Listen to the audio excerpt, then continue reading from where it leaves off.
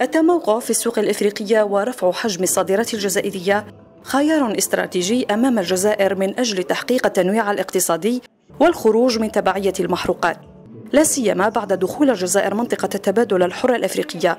هو ما أكده المتعاملون الاقتصاديون خلال ملتقى إفريقيا للاستثمار والتجارة. هي كي تكون منطقة حرة لازم يكون إعفاء جمركي.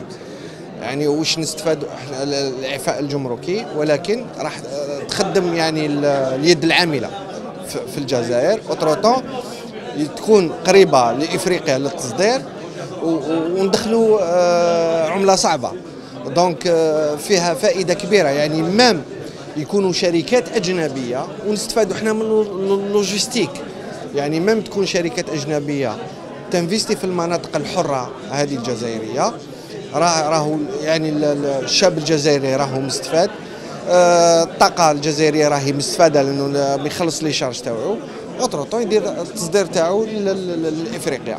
بيانات التجارة الخارجية تشير إلى أن صادرات الجزائر غير النفطية لم تتجاوز 2 مليار دولار سنة 2020 فكيف يمكن اقتحام السوق الإفريقية خارج معادلة تصدير المحروقات ومدى جاهزية الاقتصاد الوطني في ظل احتدام المنافسة العالمية على السوق الإفريقية.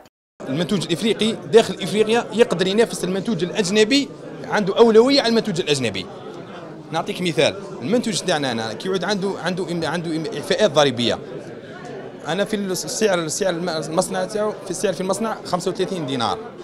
نقدر نكونفيرتي نحولوا للدولار ونصدروا مثلا نقولوا كوت ديفوار ما عندوش ما عندوش ما عندوش حقوق جمركية. ما عندوش غرامات جبائية. وبالتالي المنتوج تاعي عنده عنده قابلية أكثر أنه ينافس المنتوج الأجنبي. لاكاليتي اللي تقدر تخليه يكون عنده مكانة في السوق العالمية.